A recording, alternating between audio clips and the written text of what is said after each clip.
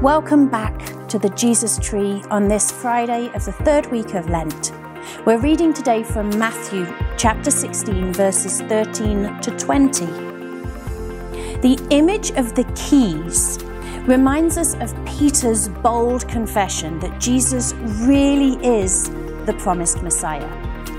To really understand Jesus, we need to remember that he was Jewish, a member of the nation of Israel.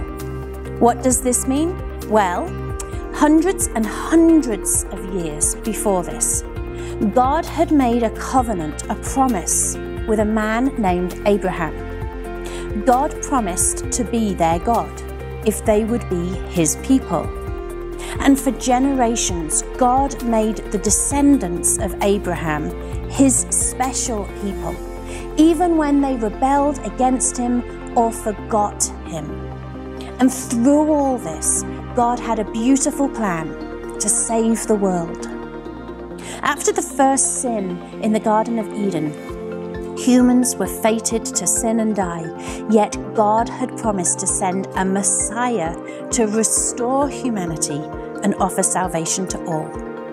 But before this could happen, God had to prepare the hearts of his people to receive this Messiah. So the Israelites waited and waited for hundreds of years.